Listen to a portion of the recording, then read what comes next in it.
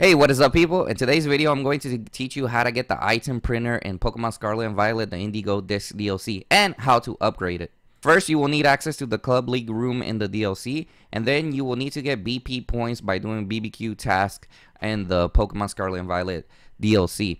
Then you will want to go ahead and go into the computer and you're going to want to donate until you find the one that gives you the item printer that will reward you with the item printer. You'll get a cool cutscene and then you will be able to switch all your items that you want to print all the way to 10. I recommend that you do 10 because this will allow you to upgrade your item printer way quicker. Keep printing 10 items until you get a cutscene notification that it will allow you to upgrade to the Ultra Ball and then it will allow you to upgrade to the Master Ball.